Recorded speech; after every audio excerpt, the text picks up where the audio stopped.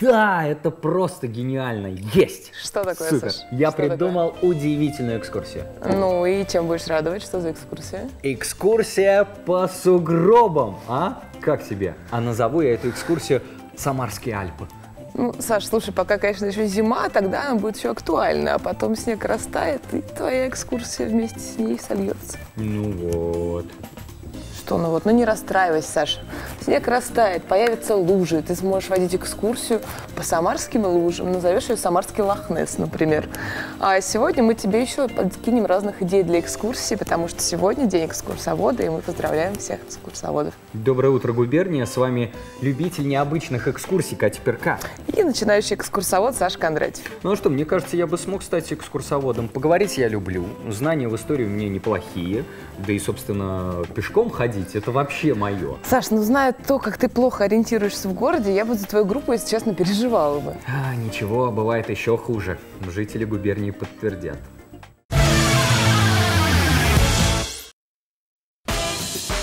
Завести нас в светлое будущее. Наверное, что-то экстремальное. Поход в лес без карты.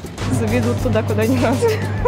Название оригинальное, на самом деле по работе я т- встречалась именно с таким бюро, оно действительно существует. Я даже боюсь представить. Ну, что-нибудь историческое, по историческим старым местам Самары, может быть. Прекрасные туры в Тулу, наверное.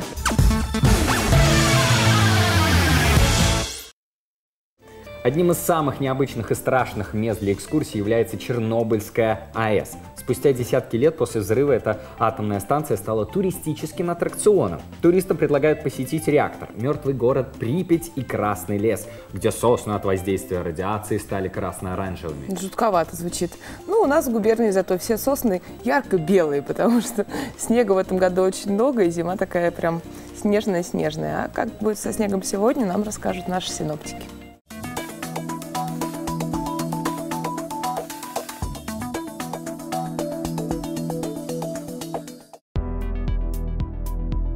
Четверг в Самарской области ожидаются переменная облачность, слабая метель и гололедица. Максимальная температура воздуха днем составит 0,5 градусов мороза, ночью минус 3, минус 8. Местами пройдет небольшой мокрый снег. Ветер будет дуть юго-западный со скоростью 9-14 метров в секунду. На севере и западе в дневное время минус 2, минус 4, на востоке и юге 3-6 мороза. В Самаре днем 0, минус 2, ночью минус 5, минус 8. Атмосферное давление понизится и составит 750 миллиметров ртутного столба. Относительная влажность воздуха 88%.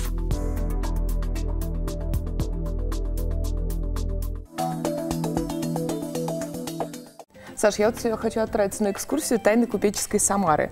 Каким образом зарабатывали свои деньги наши купцы? Как они повлияли на судьбу Самарской губернии? Вообще, каждая купеческая династия имеет свои корни, традиции, а самое главное – тайны. А это очень интересно. Пойдешь со мной? Нет, я как любитель горячих напитков уже забронировал себе место на экскурсию «Волжское чаепитие». Здесь можно познакомиться с историей чая в Самаре, побывать на самарской кухне середины 20 века и узнать, кто был на ней главным. А что тут узнавать? Моя бабушка, конечно. Но самое главное, я наконец-то узнаю рецепт заваривания чая по-купечески. Чай – это, конечно, хорошо, но на дворе зима. Есть что-нибудь какое-нибудь актуальненькое, Конечно, зимнее? конечно. Рекомендую всем отправиться в Чукотскую сказку. Вас ждет знакомство с хаски, катание на собачьей упряжке по просторам губернии и шаманские посиделки. Ой, я смотрю, там даже фотографироваться можно, милота. Кстати, зимой можно еще отправиться в тур по самарским избушкам. А в каких условиях жили наши предки 150 лет назад и как был устроен деревенский быт? На эти вопросы вы узнаете все ответы.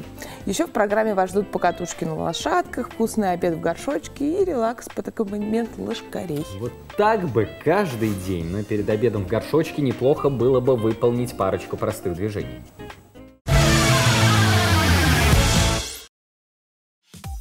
Всем доброе утро! Вас приветствует фитнес-клуб «Спортзавод». И сегодня мы с вами сделаем парную тренировку. Мы с вами проработаем верхнюю часть грудного отдела. Итак, начнем с вами первого упражнения. Партнер сделает планочку и будет делать отжимания. Но тем временем партнерша берет ножки и делает становую тягу. Подходим поближе, чтобы было удобно. Ягодицу назад, колени согнуты и одновременно начинаем. И раз, выдох. И раз, И два, последний. И три. Хорошо, ставим ножки. Поднимаемся.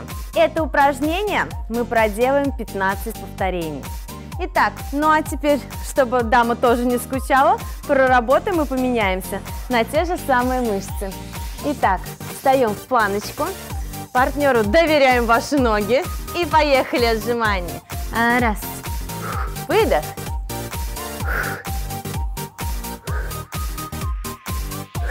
Последний и закончили. Отлично. Хап. Я думаю, вы с этим справились. Также предлагаю вам сделать 15 повторений. Ну что ж, заключающим упражнением мы с вами проделаем планочку. Она будет очень эффективна по завершению каких-либо силовых упражнений. Итак, мужчина будет делать планку, естественно. Ну а дама ему в этом поможет, поэтому располагаемся на мощной спине вашего партнера и вдохновляем. Поехали! И раз, и два, и три выдох, и еще два, раз, и еще разок, хап, отлично. Ну что ж, закончили. Замечательно. Владимир, вы справились великолепно. Эту же планку я предлагаю, чтобы проделали по 15 повторений. И можете сделать три круга. Что ж, заряжаемся бодрым утром. С вами были мы, Владимир и Дарья, фитнес-клуб «Спортзавод».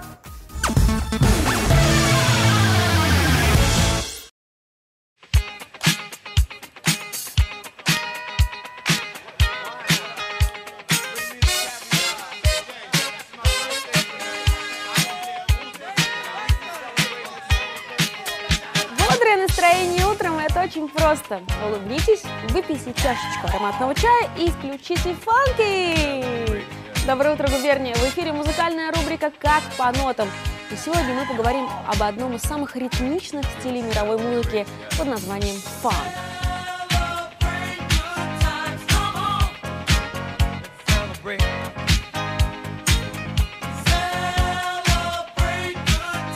Фанк – это широчайшее понятие, которое включает в себя э, стиль музыки, стиль танца и даже образ жизни. А изначально жаргонным словечком фанк афроамериканские музыканты называли музыку с мягкой, спокойной мелодией.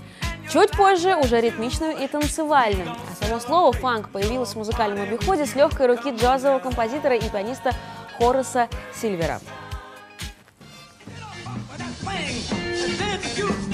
Эй!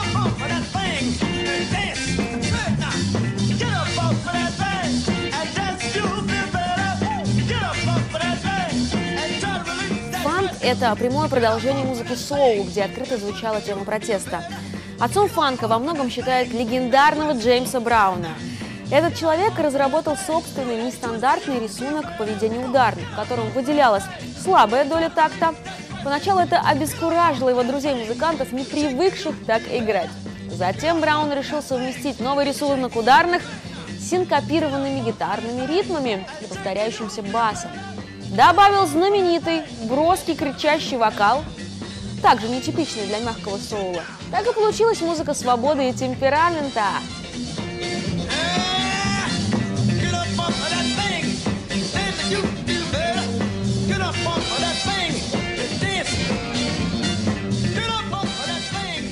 Группы середины 60-х тотчас подхватили стиль, созданный Брауном, и начали его активно развивать, привнося все новые и новые детали.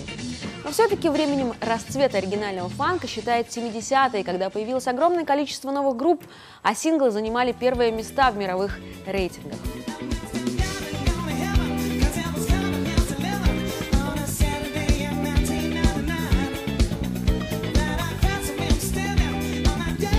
Середины 60-х и до наших дней фанк – это музыканты разных поколений. Джеймс Браун, Аретта Франклин, Earth, Wind and Fire, Джимми Роквай, даже Майкл Джексон и множество других классных исполнителей, создающих оригинальную музыку, в которой зачастую нелегко даже отличить корни фанк-музыки. И хотя в своем первоначальном значении термин фанк практически исчез из обихода, использование элементов этого стиля в современных композициях гарантирует этому бодрящему музыкальному направлению долголетия. А у меня на этом все. Мы увидимся с вами на следующей неделе. Обязательно споемся. Пока, танцуйте.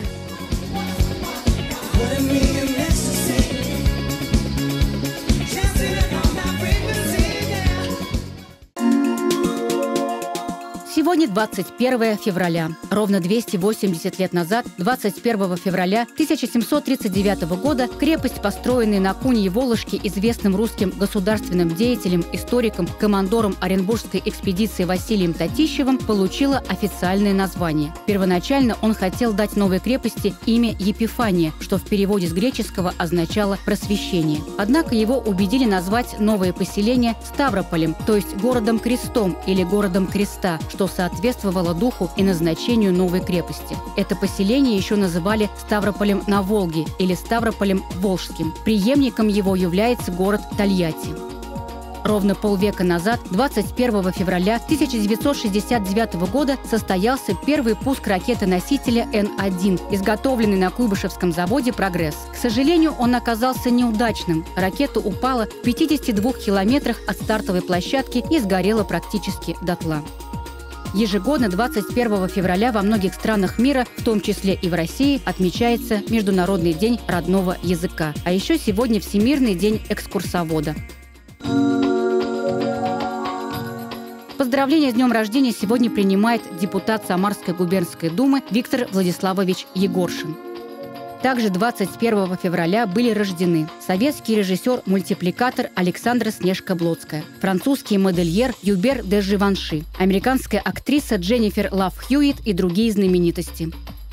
В народном календаре сегодня Захар Серповидец. Женицы молились этому святому о хорошем урожае. В день его памяти крестьяне много внимания уделяли серпам. В связи с этим говорили «не обрежешь вовремя кривого серпа, не нажнешь в поле снопа». Таким вошло в историю 21 февраля. Всего вам самого наилучшего. Есть еще одна увлекательная экскурсия – прогулка по Самаре французской. Здесь можно будет обсудить старофранцузский стиль в архитектуре, узнать о знаменитых жителях губернии с французскими корнями и полюбоваться на самарских модниц. А если лень идти на экскурсию, оставайтесь дома и ловите модные советы от Маши Горячего. Доброе утро, студия! Доброе утро, дорогие телезрители! Ну что, сегодня хочу с вами поговорить про базовый гардероб в офис. Очень часто, к моему сожалению, в офисах принят дресс-код. И чаще всего это черно-белый цвет. Бедные девушки, я искренне вам сочувствую, потому что я как дизайнер могу ходить на свою работу и выбирать какие угодно цвета в одежде. И сегодня мы поговорим с вами про черно-белую гамму и какими акцентами мы можем сделать ее более интересной. Итак, возьмем мою любимую юбочку плиссе черного цвета, как и велит нам дресс-код, ну, например, в банках, в нефтяных компаниях. Простая белая блузка. По моему мнению, это один из самых наискучнейших луков, которые только можно придумать. Но мы были бы не мы, если бы не придумали разные фишечки и интересные ходы. База – черный пиджак. Обратите внимание на крупную брошь из атласного банта и страз. Мы можем с вами использовать эту брошь как на лацкане пиджака, как в данном случае, так и перекрепить ее, например, на ворот рубашки, что уже будет более интересной задумкой. Согласитесь, такой романтичный образ очень даже интересен. Итак, разнообразим этот лук не просто юбочка и плесе, достаточно скучным вариантом, по моему мнению, а, например, брюками в клетку. Ведь у всех есть веселая пятница, или как там у вас ее называют в офисах. Обратите внимание на то, что это брючки с модным акцентом на завышенной талии и интересным бантом. Сочетаем. Не нужно в этот момент думать, что брошка не подходит к этому луку. Наоборот, она является ярким акцентом, который будет говорить сам за себя. Итак, если вы любительница черного и никак не можете вылезти из этого цвета, вам кажется, что белое, пудровое, голубое, фиолетовое все вас сполнит, я, знаете, называю а, этот этап жизни черной полосой женщины. Если вы все-таки выбрали черный верх, постарайтесь, чтобы это была не просто черная блузка, а, например, вот такая кофта с элегантной баской. Ну и, конечно, ваш случай – черный низ. В одной черной-черной комнате очень черная-черная девушка взяла черную-черную кредитку своего мужа и потратила все на шопинг. Это наш вариант. Итак, разнообразим этот лук красным поясочком, но не просто красным поясочком, а красным поясочком с игривым бантиком. Согласитесь, этот красный акцент не будет вас полнить, но будет говорить о вас, что вы девушка с изюминкой. Очень часто я слышу такое возражение, что платье-сорочка совершенно не подходит для офисного стиля. Не соглашусь, как дизайнер полностью отвергаю ваше мнение. Рассмотрим вот такое платье-сорочку из тонкой шерсти. Очень интересные лямочки, все элегантно. Опять же, давайте украсим этот образ нашей брошью. Но мы выберем для этого не сам сарафан, а подберем к этому луку кардиган цвета нашей кофточки. Одним движением руки набрасываем кардиган на сет с платьем-сорочкой. Получается очень стильно. И украшаем этот лук брошью.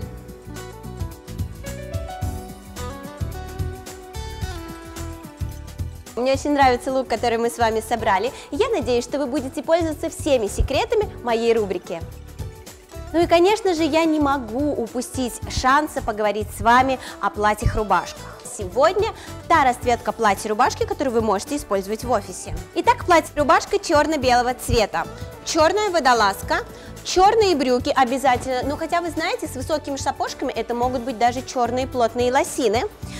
Выглядит, знаете, достаточно как-то неженственно и совершенно непривлекательно, но делаем акценты. Всю нашу сегодняшнюю рубрику мы с вами делаем акценты в наших луках. Итак, берем широкий пояс, повязываем его на талии, и таким образом у нас получается модный современный лук. Вот с таким луком, с высокими сапожками-ботфортами мы смело идем на работу и продолжаем восхищать всех окружающих. Если вы хотите, чтобы ваш босс вас повысил, всегда будьте бдительны, всегда будьте в тренде и на волне моды. Даже монохромный черный лук при правильной расстановке акцентов может выглядеть очень интересно. Всем хорошей недели! С вами была ваш любимый дизайнер Маша Горячева.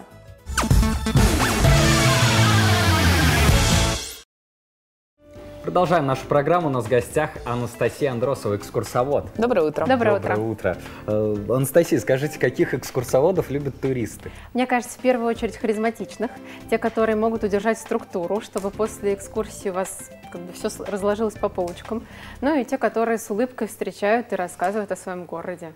Расскажите немножко про ваши экскурсии, а, какие вы принципы используете в них, может какие-то нестандартные да, подходы? пути какие-то. Ну, да. на самом деле, это такой синтез как бы стандартного и нестандартного всегда, потому что у нас есть абсолютно такие классические экскурсии, как обзорные маршруты и для гостей, и для жителей нашего города, там бункер Сталин, пиварный завод, на котором мы водим экскурсии, но также есть и те, которые, так скажем, ну, как бы дань времени, то есть, например, гастротуры, э, туры по барам или, например, экскурсия там ночная в филармонию, то есть такие, которые здесь и сейчас интересны людям. И вы правы, мы всегда в поиске новых маршрутов.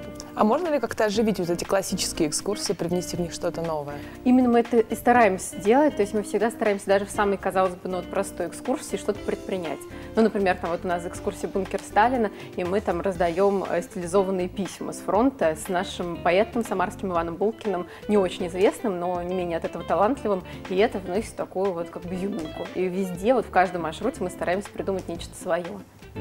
Насколько вообще эта профессия сейчас популярна и зачем нужен экскурсовод? Ведь можно все найти в интернете и спокойненько пройти по маршруту. То есть сейчас довольно популярны. Сейчас появляются такие как бы агрегаты, например, как Трипстер, это экскурсии от местных жителей, да, когда а, экскурсовод становится не только экскурсоводом, но по сути таким другом, который тебе поможет вот в незнакомом городе или в знакомом городе, почему нет. А насчет интернета это очень хороший вопрос, на самом деле, вот, наверное, наша цель это сделать так, чтобы человек, который даже случайно, пускай попал на экскурсию, понял, что нет, экскурсовод все-таки нужен. Потому что в интернете мы что найдем? Мы найдем какой-нибудь факт о здании, да, а, или там о каком-то событии, но мы никогда не узнаем, что там предшествовало этому, что послужило катализатором для строительства, например, если мы говорим о здании. И все-таки, ну, мы не будем же полагать, да, что экскурсовод нашел все в интернете и от этого там продвигает свои экскурсии, получает там миллионы хороших отзывов. Все-таки значит, что экскурсовод проделал какую-то работу. У нас каждый маршрут, ну, где-то, наверное, полтора месяца точно разрабатывается, чтобы мы там познакомили вас с какими-то неизвестными двориками, а в какое-нибудь антоэтичное место зашли. Вы это, вероятнее всего, сможете найти сами, но сколько вы потратите на это время, ну, большой вопрос. Поэтому наша цель именно познакомить с городом так, как вы это не сможете сделать самостоятельно. Сами экскурсоводы, мне интересно, ходят на чужие экскурсии? Я думаю, что мы, ну, многие ходят. Я стараюсь не ходить, просто потому что я, знаете, такой человек, вот если я пришла куда-нибудь, обязательно вдохновлюсь этой ситуацией, поэтому я не хочу повторять там как-то своих коллег, поэтому я принципиально не хожу. Но я хожу к своим коллегам, там, не знаю, в Праге, в Москве, в Петербурге, чтобы вдохновиться и какие-то э, перенять, может быть, навыки. Сейчас э, интересная информация для туристов, как раз для любителей экскурсий. Что больше всего раздражает в поведении туристов на экскурсии, Анастасия? Мне кажется, что э, человек, который пошел экскурсоводом, все-таки любит людей, вероятнее всего, работать, если он пошел экскурсоводом. Поэтому вот прям раздражает, не могу сказать, что прям вот что-то бесит, но бывает, что что-то отвлекает. А, ну, просто потому что мы все люди, если, например, на экскурсии начинают разговаривать громко, обсуждать экскурсию, это здорово, что это вызвало интерес, но может сбиться экскурсовод, да, или, например, если там снимают со вспышкой, и вам попало на лицо, тоже это может отвлечь. Но это всего лишь именно отвлечение внимания, но уж точно там не раздражение. Просто к нам не ходят люди, которые могут раздражать, потому что у нас всегда такая аудитория, но специфически все-таки люди ходят на экскурсию, да, те, кто, кому там хочется нахамить или там как-то раздражать людей, то они, наверное, выберут да, другой досуг. Э, есть ли что-то еще в Самаре, что для вас загадкой остается? Ну, прям, наверное, чтобы загадка-загадка, уже, наверное, нет но есть много таких потенциальных маршрутов, которые, за которые мы постепенно беремся. Как я уже сказала, все-таки много времени уходит на каждый маршрут. А вот мы этой весной презентуем аж 4 новых маршрута, поэтому потихонечку мы так познаем Самару и знакомим с ней. Ну, расскажите немножко про вот эти новые маршруты, которые вы сейчас будете разрабатывать и уже презентовать. Ну, один из них, он э, как бы такой уже, не, не такой уж новый, так скажем, лежит на поверхности, но у нас просто его не было. Это Голубое озеро, недалеко от Сергиевска. Потом у нас стартует экскурсия 1917, которая называется, это экскурсия экскурсия, посвященная революционным событиям. Это такая экскурсия-пьеса. А, в общем, что-то такое необычное. Потом у нас будет экскурсия... С переодевашками. С актерами? С Нет, с актерами, но не с переодевашками, а с переодеванием, так скажем, мысленным, вот так вот, ментальным. Экскурсия по литературной Самаре у нас будет «Самара между строк». А, и у нас будет экскурсия «Места исполнения желаний». Что же, что надо потереть в Самаре? Чтобы Сколько желание... надо загадать желаний, понимаешь, чтобы по каждому месту пройти, да. что-нибудь новое загадывать, и не одно и то же. А, какие качества требуются экскурсоводу? И, правда, посоветуйте, пожалуйста, людям, которые, э, возможно, готовы проводить экскурсии, что же требуется, к чему нужно быть готовым? А, ну, я вот сама лично считаю, это мое, только мое мнение, что все-таки экскурс, экскурсовод, который ведет исторические маршруты, то есть обзорные маршруты, должен обладать историческим образованием. Потому что, на мой взгляд, только оно может дать вот эту возможность посмотреть какое-то событие в Самаре в ретроспективе событий в истории да, России. Поэтому это мое личное мнение. Но хотя бы гуманитарным, э, в общем, целым классическим образованием. Филфак сойдет. Ну, да, филфак подойдет. Да. А, а так, какие качества? Ну, вот как бы клиентоориентированность это везде, да, сейчас нужно. И, мне кажется, умение перерабатывать материал, потому что сейчас уже не пойдет, если вы выучите материалы, там, поехали, через 10 лет остановились. Сейчас все меняется, открываются, закрываются места, открываются места, какие-то дома отправляются на реставрацию, какие-то появляются новые объекты, и как бы нужно держать руку на пульсе. Но я бы не посоветовала, например, идти тем, кого, кто хочет прям сделать основной профессией. В Самаре все-таки это бизнес сезонный. И в 80% случаев среди наших экскурсоводов, а их у нас в Самаре более 70 человек, это все-таки совмещение. То есть очень мало экскурсоводов, которые работают прям круглый год только на этой работе. Поэтому в общем, если это студент, который хочет попробовать, то почему нет? Если это человек, который хочет основной профессии сделать, то нужно сначала подумать, ну, каким образом он привлечет клиентов на весь год. Отлично, Анастасия, спасибо большое. Спасибо. Очень спасибо интересно, вам. сразу захотелось на экскурсию. Да, ну вот, как потеплеет, и сразу пойдем. Продолжаем нашу программу, вернемся в студию совсем скоро.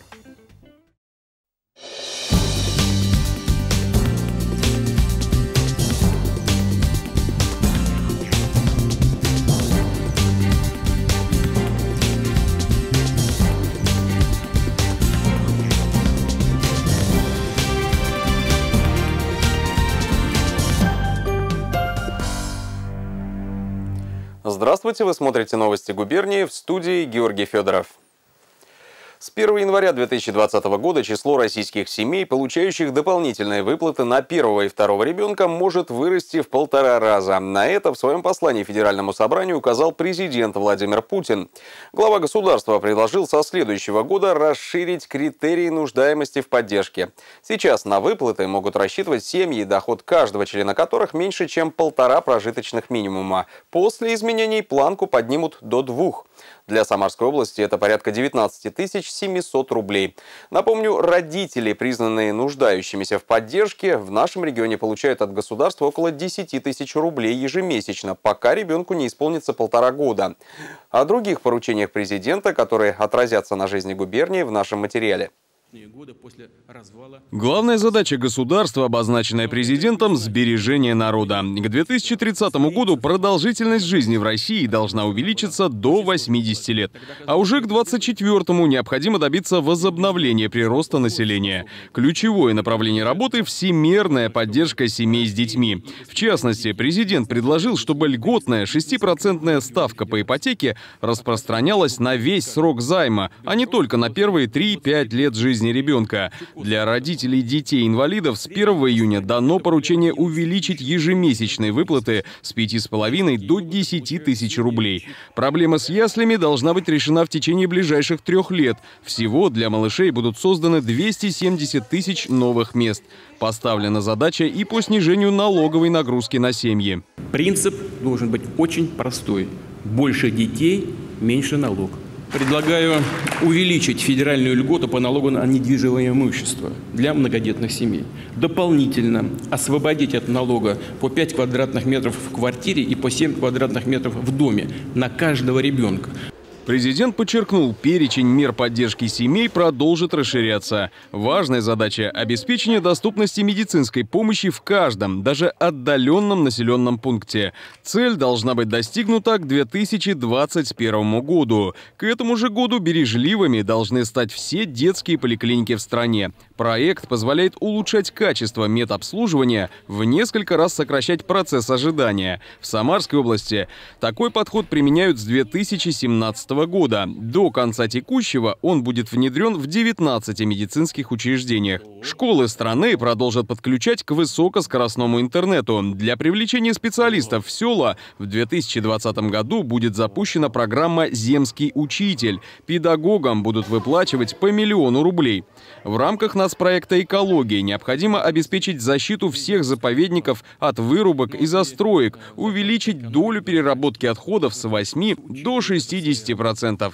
Также глава государства назвал основные направления работы, которые позволят обеспечить стране стабильный экономический рост. Рост производительности труда прежде всего на основе новых технологий и цифровизации – формирование конкурентоспособных отраслей и как результат увеличение несырьевого экспорта более чем в полтора раза за 6 лет. Несмотря на то, что цели у нас долгосрочные, вы знаете, и 24 и 30 год, люди должны почувствовать результаты от реализации нас проектов в этом году. Я думаю, это был очень важный посыл. Все нас проекты нацелены, конечно, на прорывное развитие, но нацелены и на каждого человека. Ведь очень просто можно сформулировать идеи национальных проектов в отношении каждого человека. Нужно, чтобы человек жил долго и счастливо. Ряд поручений Владимира Путина будет выполнен уже в ближайшее время. Это, в частности, касается пенсий. В этом году в России их проиндексировали на 7,5%. Однако одновременно были сокращены социальные доплаты гражданам, пособие которых превысило прожиточный минимум. Глава государства поручил пересчитать и вернуть пенсионерам недополученные деньги. Ветераны труда Самарской области предпенсионного возраста смогут получать ежемесячную денежную выплату ЕДВ из областного бюджета. Соответствующие изменения в закон рассмотрели накануне на заседании правительства Самарской области. Согласно поправкам, размер выплаты будет определяться с учетом оснований присвоенного звания ветерана труда Самарской области. Так, за выслугу лет будет начисляться минимальная сумма – это 674 рубля в месяц, а звание почетного жителя может заметно увеличить выплату. Максимальная планка составляет 1213 рублей. Разработать все необходимые меры соцподдержки людей предпенсионного возраста – поручение губернатора Дмитрия Азарова. Здесь мы отражаем вопрос и индексации критерия э, э, по размеру пенсии, да, который является критерием для э, назначения мер соцподдержки единой денежной выплаты и значит, защищаем интересы предпенсионеров. Мы э, вносим в такой формулировке, что действие данных положений распространяются на отношения с 1 января 2019 года. Если бы э, вот мы сейчас по поручению губернатора не отработали этот вопрос, то около, потенциально мы предполагаем, что около 11 тысяч человек из этой категории, они просто не получали бы доплаты. Взломай, если сможешь. В первый день весны стартует регистрация на отборочный этап международных межвузовских открытых соревнований в области информационной безопасности «Волга CTF-2019». Пройдет он с 29 по 31 марта в режиме онлайн. Формат соревнований – захват флага. Команды состязаются в защите собственных ресурсов и поиске уязвимостей в обороне соперника. Напомню, «Волга CTF» – один из крупнейших российских эвентов в области кибербезопасности безопасности. Ежегодно в нем принимает участие около 7 тысяч молодых специалистов со всего мира. Лучшие команды встречаются в финале, который проходит в Самаре. А у меня пока на этом все. Больше новостей на нашем сайте guberniatv.ru.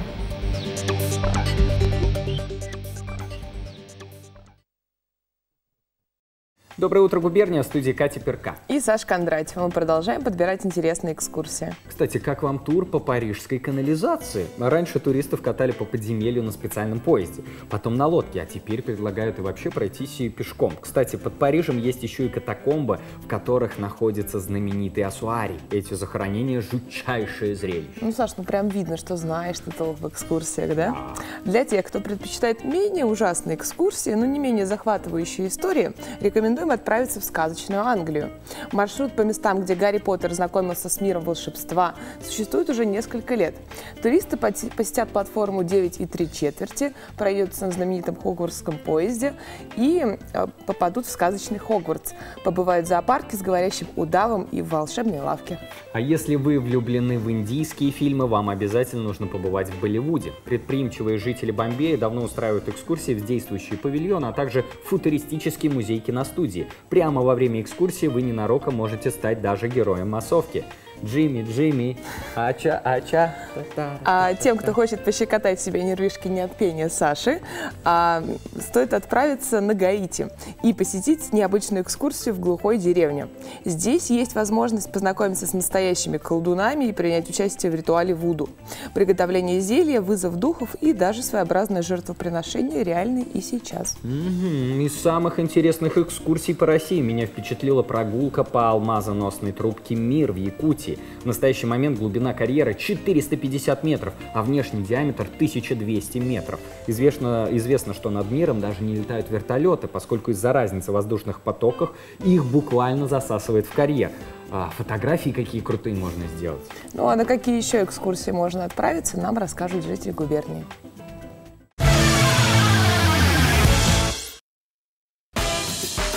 Завести на светлое будущее. Наверное, что-то экстремальное. Поход в лес без карты. Заведут туда, куда не надо. Название оригинальное, на самом деле по работе встречалась именно с таким бюро, оно действительно существует. Я даже боюсь представить. Ну, что-нибудь историческое, по историческим старым местам Самары, может быть. Прекрасный тур в Тулу, наверное.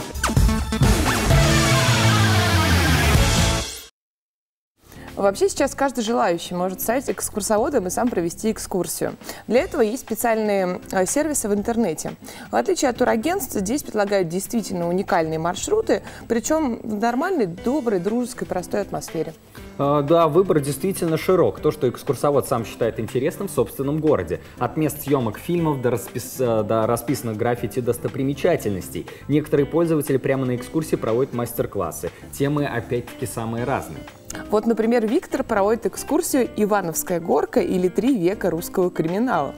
Здесь мы узнаем, где метал сюрикены Фандорин, где скрывался Блюмкин после убийства графа Мирбаха и где брали Горбатова. В общем, умение ходить и говорить одновременно может принести деньги и славу. Нужно лишь придумать маршрут и найти желающих гулять по нему в вашем обществе. Ну вот я бы сейчас с удовольствием прогулялась вместе с Таней Пециной по новой выставке.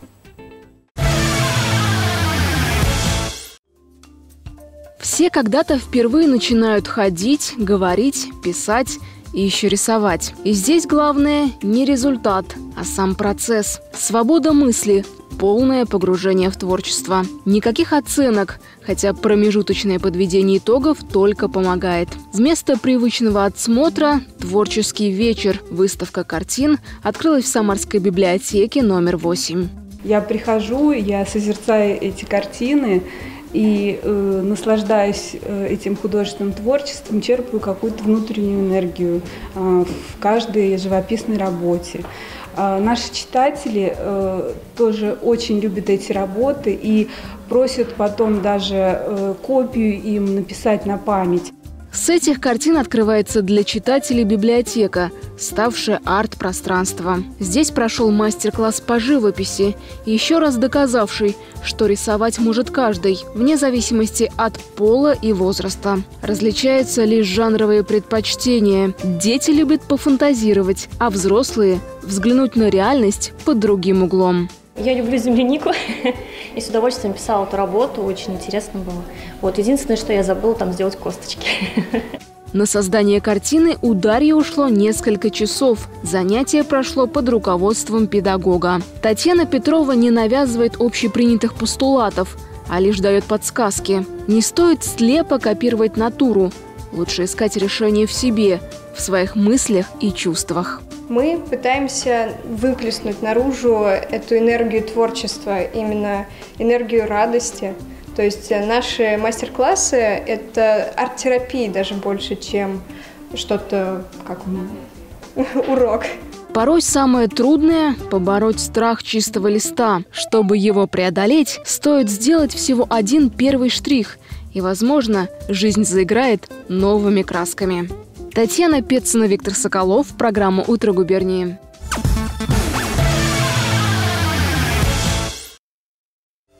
Продолжаем нашу программу и совсем скоро, в эти выходные 23 и 24 февраля, состоится зимний фестиваль «Пластилиновый дождь» в одном из торговых центров нашего города. И у нас в гостях Игорь Шадрин, руководитель театра «Пластилиновый дождь», и Анастасия Шадрина, программный директор фестиваля «Пластилиновый дождь». Доброе, Доброе утро. Доброе, Доброе утро. Мы говорил.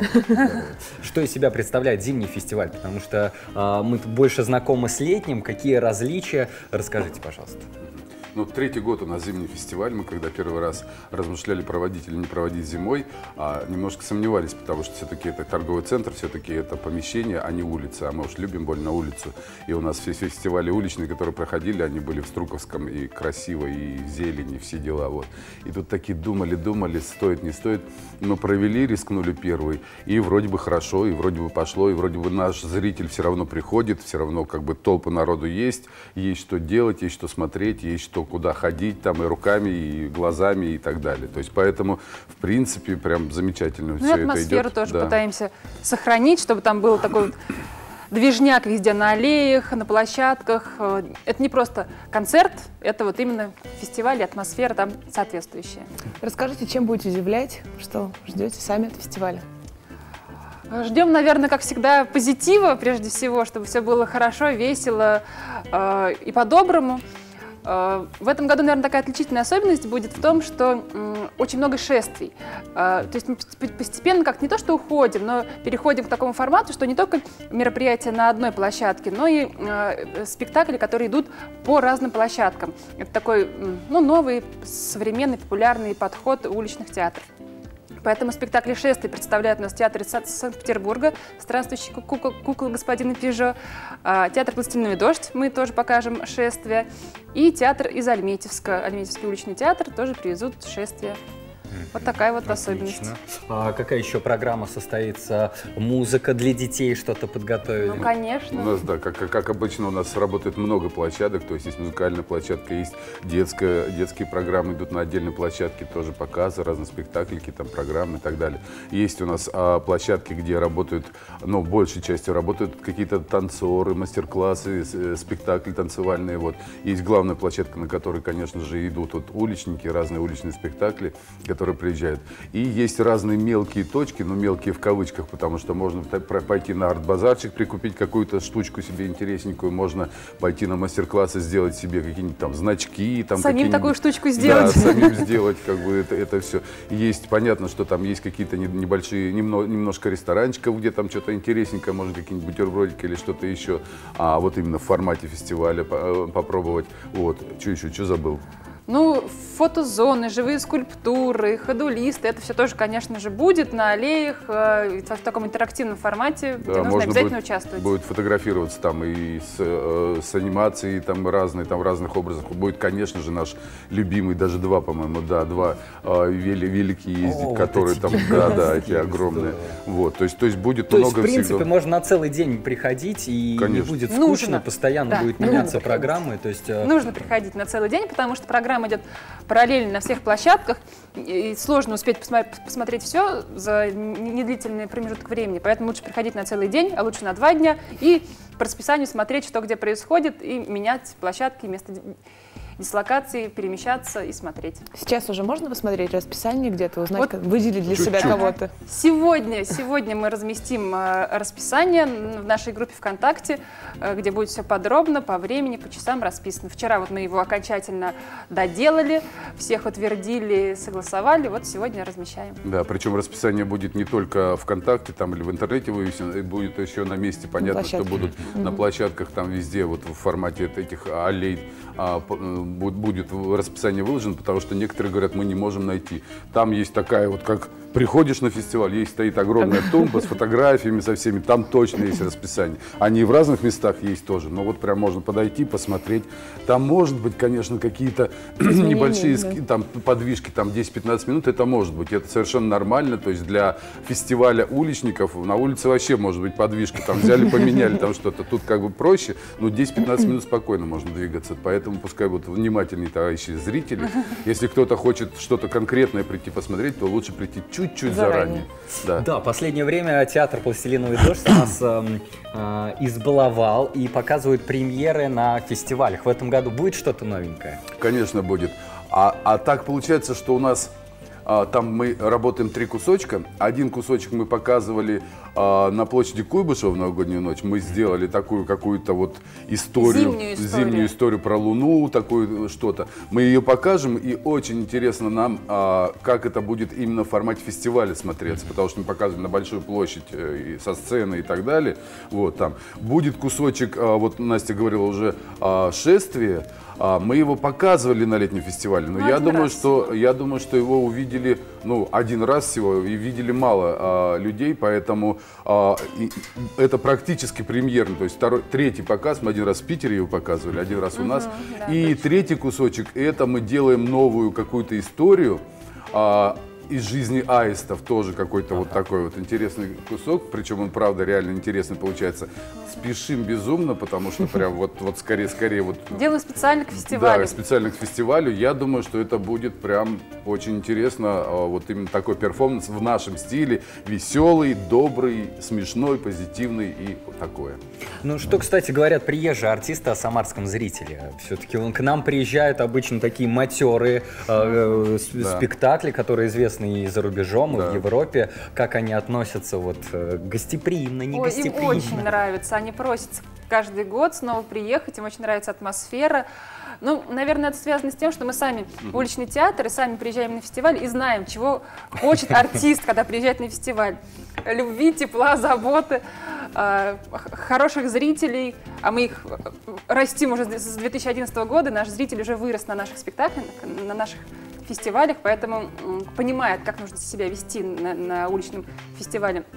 Поэтому, конечно же, все театры рады к нам приезжать и возвращаться. Вот в этом году приезжает, э, уже получается, в Самару третий раз театр странствующих угу. кукол господин Пежо, и опять они едут с радостью и с позитивным настроем. Потому что знают, что бутербродики никогда не заканчиваются. Да, да. Специальная девочка это все режет, специально обученный человек, да. Потрясающе. Ждем с нетерпением, конечно, этого волшебного события. Успехов вам, чтобы вы все успели и, конечно, радовали 23-24 февраля всех зрителей Самары этим событием. Спасибо Очень ждем. Спасибо. Спасибо. Продолжаем нашу программу. И, знаете, из Елены Шишкиной вышел бы отличный экскурсовод, но она предпочла стать театралом тоже. Смотрим ее отчет о свежей премьере. Дело не просто в том, что со времени блокады Ленинграда, в котором начинается действие пьесы Алексея Арбузова, прошло почти 80 лет. Исключительные условия, в которых встречаются Лика, Марат и Леонидик, изначально делают их отношения особенными. По мнению постановщика спектакля «Мой бедный Марат» в театре драмы, встретить подобное в людях сегодня практически нереально. Я вижу эту проблему очень серьезную, которая стоит сейчас перед нами. Проблема тотального эгоизма. Проблема конформизма. То, что, к сожалению, пропитало все. Когда вы не видите двух, не слышите двух слов правды, ну вот тогда хочется ставить арбузы. Вот, собственно, и все. Мой выбор очень простой. Казалось бы, это пьеса о любви и любовном треугольнике, но на самом деле история куда глубже, ведь герои встречаются снова и снова спустя годы, и удивительным образом меняются их отношения и взгляды на жизнь. Мне безумно нравится свет, который есть в этой героине. Вот это счастье, чудо, она легкая, она искренне очень во все верит. Эм, нам в силу жизненных обстоятельств всегда приходится закрываться, защищаться, надевать какую-то броню, но вот этого света так не хватает. Его в жизни сейчас не хватает. И я благодарна просто за возможность, когда э, тебе позволительно выйти и сиять. О чем вообще спектакль? О том, что мы даже в такое суровое время, как э, война, э, даже в нечеловеческих условиях э, даем очень много обещаний, э, которые почему-то потом считаем э, нормальным не держать. Причем обещания не, не только кому-то, обещания, которые мы даем сами себе. А спустя годы все замыливается, мы идем на один компромисс, на другой компромисс. И вот к чему пришли эти честные люди, эти подростки, которые оказались э, в блокаде Ленинграда, и что они обещали, и в чем они клялись, и к чему они пришли.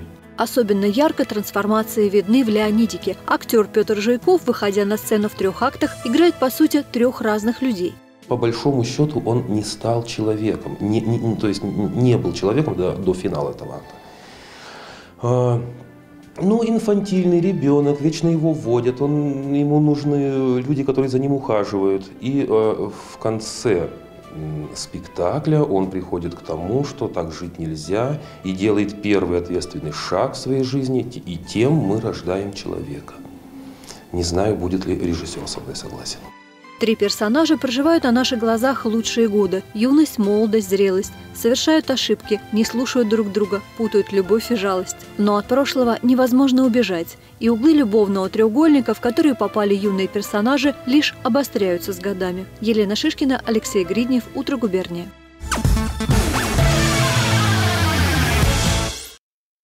Отправляемся на экскурсию по звездам. Гороскоп прямо сейчас.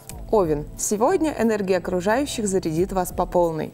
Так что утреннее пресное состояние сменится активным. Вы расправитесь с делами шутя. Телец сегодняшний день откроет для вас новые перспективы. Постарайтесь не упустить возможности, подаренные вам судьбой. В достижении целей посодействуют друзья и родственники. Близнецы. При общении с людьми сегодня понадобится сдержанность и выдержка. Если все мысли и чувства будут написаны у вас на лице, диалог может не состояться, так что держите лицо. Рак. В первой половине дня контакты с окружающими будут успешными и очень скоро дадут позитивный результат. Деловое общение принесет выгоду и поможет в решении важных вопросов. Лев. Если отношения с любимым человеком дали сбой, сегодня самое время для их восстановления. Главное сделать первый шаг. Дева. Если при общении с окружающими вы будете излагать свои мысли лаконично и ясно, то добиться большого успеха не составит труда. Не жалейте времени на обдумывание важных формулировок и сделайте речевую разминку с утра. Весы. Сегодня придется осознать, с какой скоростью растут ваши аппетиты. Вы, безусловно, заслуживаете в этой жизни большего. Осталось только понять, как реализовать свои мечты. Скорпион, сегодня вы испытаете небывалую легкость. Все будет казаться простым и естественным. Возможно, окружающие проникнутся вашей энергетикой и не будут мешать. Стрелец. Избегайте лицемерия, будьте искренними и принципиальными во всех вопросах. Окружающие оценят по достоинству вашу прямоту и честность и почтут за честь оказать вам поддержку. Козероги сегодня будут полны решимости начать новое предприятие, но будьте готовы к преодолению препятствий. Трагедии из этого делать не стоит, вам вполне по силам подчинить себе обстоятельства. Водолей. Любой совет, полученный сегодня, следует оценивать критично. Велика вероятность поступления ложной информации. Возможно, окружающие будут невольно вас дезинформировать. Хуже, если это будет сделано нарочно. Рыбы, сегодня вам стоит проанализировать свои отношения с окружающими. Если они складываются не очень гладко, причиной может быть ваша собственная прямолинейность. Больше дипломатии. Старайтесь входить в положение других людей. На сегодня наша экскурсия подошла к концу. С вами были Катя Перка. И Саш Кондратьев. Пока-пока. Саш, слушай, мы с тобой забыли про интересную экскурсию рассказать про красноглинский холодильник. Там столько всего можно найти. А зачем так далеко ходить? У нас в гримерке тоже холодильник. А, там столько интересного. Одежда ведущим предоставлена Домом моды Маши Горячевой. Спортзавод. Спорт зовет. Три месяца «Фитнес плюс Аква» за 5990 рублей. Только до 22 февраля. Звони прямо сейчас. 2703 777. Спортзавод Новосадовая, 106.